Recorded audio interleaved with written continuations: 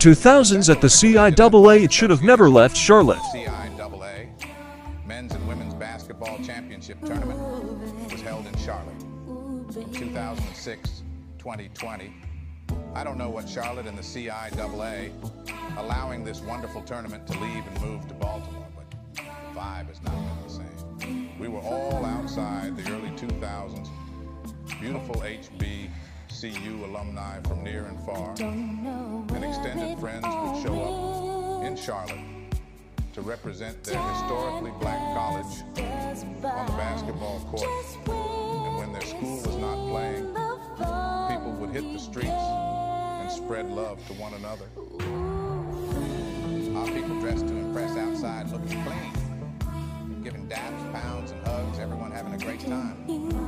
Many would line the streets. People watching long lines would form in front of clubs for the day parties. Sounds of bottles pop.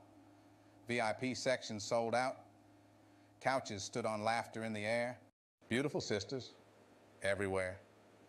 Lady Golden Bulls and woo-woos of all ages at the cheerleading competition. Parents sharing the HBCU experience with their children at the convention center and the Greek letter organizations battling it out at the step show. Charlotte had it going on. Nighttime was epic. Yes, people would be tired from earlier on, but they would still come out their hotels and party even more. There were concerts for all ages, from hip hop to blues. There were all white parties, all black parties, 70s, 80s, 90s parties. And then there was the EpiCentre alone, where thousands of people would fill up the center to connect with each, to party, to holler. Our black dollar generate millions for Charlotte. But it appears it wasn't appreciated enough to allow it to leave the Queen City.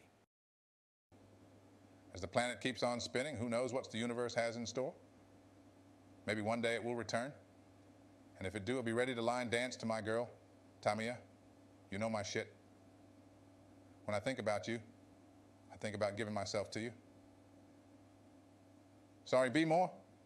It's too cold up there. Bring it back to Charlotte.